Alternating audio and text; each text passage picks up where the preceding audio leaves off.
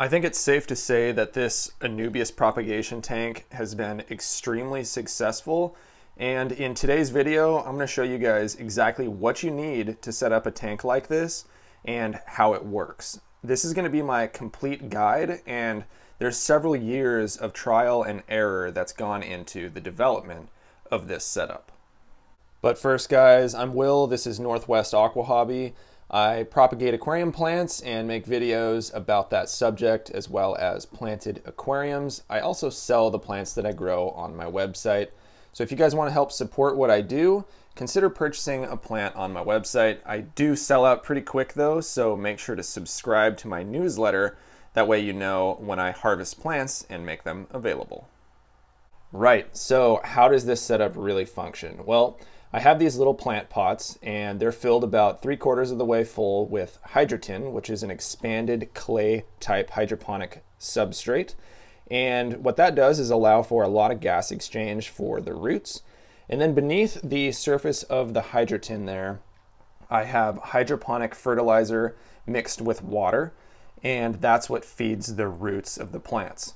I also spray the plants with what's known as a foliar spray, which is essentially a hydroponic fertilizer solution that's sprayed on the leaves and is allowed to run down through the substrate, also fertilizing the upper portion of the roots. So if we pull one of these pots out, you'll see that there's water beneath the pot and it's about, you know, halfway up the pot or so, maybe a third. And that's nutrient rich water down there.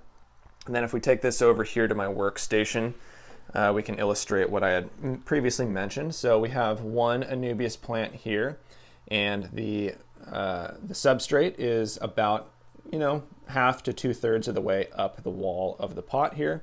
Then the pot itself sits in that nutrient rich water, um, and that feeds the roots.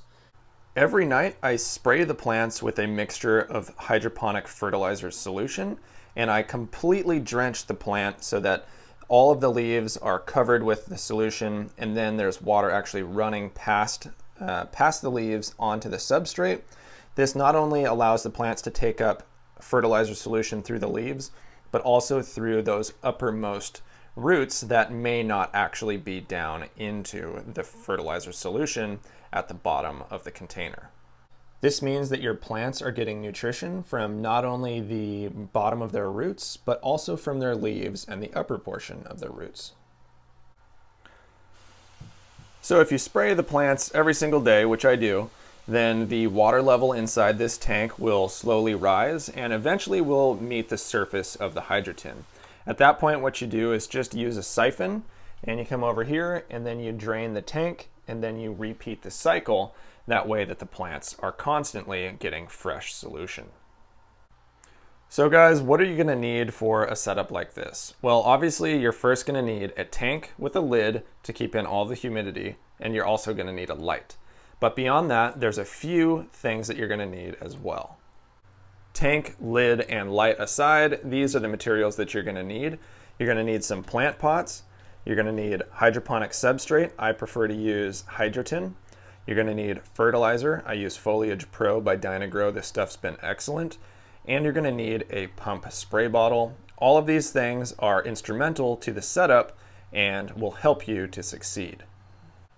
If you guys are interested in picking any of these products up, I will have links in the description to Amazon where you can pick up these products or something equivalent to get you guys started. Do keep in mind though that these are affiliate links, so I will get a kickback if you purchase through those links, so that would be greatly appreciated.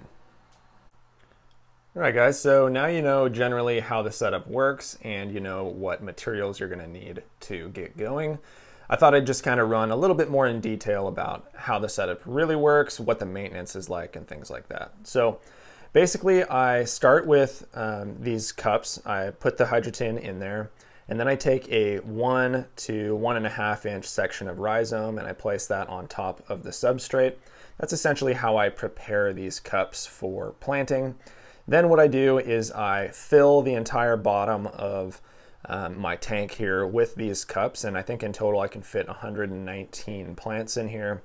And then once I have them all installed, what I do is I take my hydroponic fertilizer, Foliage Pro, and I mix this stuff up at a concentration of two teaspoons per gallon. And then I basically pour probably like a half gallon or so of that solution into the bottom of the, the tank here. And that's what feeds the bottom of the roots. And then what I do is I take my spray bottle, which is also mixed um, to a concentration of two teaspoons per gallon, and then I spray these plants every single night. Um, generally speaking, in the mornings, I also spray them again with a uh, very weak solution, if not just straight water. But I actually have been experimenting with only spraying at night, not spraying again in the morning, and that seems to be producing pretty great results and is a little bit less work. Um, so yeah, I mean, once you get this stuff set up, guys, really all you got to do is spray them once or twice a day. And then uh, aside from that, really, as the water level slowly rises, all you got to do is occasionally siphon out some of that water. You don't want the water to get up past the top of the substrate because then you'll run into algae issues. Um, really, I only have to siphon water out of here once every month or two. So that's like hardly any work at all. Really, it's just spraying the plants and letting them grow. Um, so it couldn't really be more simple than that. Um, one benefit of using this Hydroton substrate is that there's very few bugs that really can grow in here, so you don't have many pests ish, pest issues. Um, it's also very clean to work with, so when it's time to harvest a plant, all you got to do is just pull it out and pull those pebbles off, and then you can reuse them again. So it's economical and it's clean, not messy, fewer bugs. There's a lot of benefits to using this type of stuff over soil or some other type of traditional setup. As far as lighting goes, I actually have this uh, light on for just four hours a day and I have it on at the weakest lighting intensity possible.